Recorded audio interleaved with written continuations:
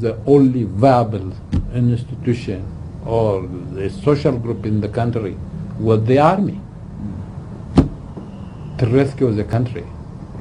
So we did not come by force or by weapon or by violence or we did not plan to seek power, taking the advantage of the situation.